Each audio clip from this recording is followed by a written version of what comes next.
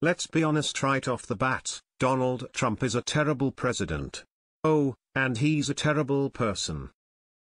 And you can throw in a terrible American, too. And it seems that while things continue to deteriorate, the lines have already been drawn. Nothing Trump does or says at this point is going to change the minds of the hardcore Trump supporters. Meanwhile, the rest of America, the ones who are rational, thoughtful, and objective, are left shaking our heads.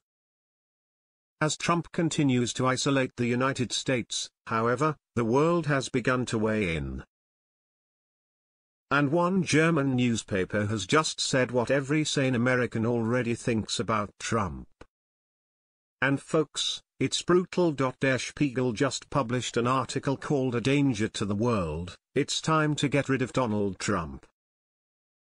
Here are some of the highlights colon. Donald Trump is not fit to be President of the United States. He does not possess the requisite intellect and does not understand the significance of the office he holds nor the tasks associated with it. He doesn't read. He doesn't bother to peruse important files and intelligence reports and knows little about the issues that he has identified as his priorities. His decisions are capricious and they are delivered in the form of tyrannical decrees.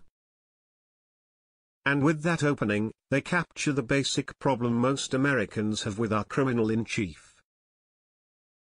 But it goes on colon. He is a man free of morals.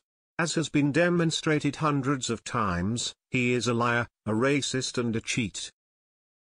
I feel ashamed to use these words, as sharp and loud as they are. But if they apply to anyone, they apply to Trump. And one of the media's tasks is to continue telling things as they are, Trump has to be removed from the White House. Quickly. He is a danger to the world. Trump is a miserable politician.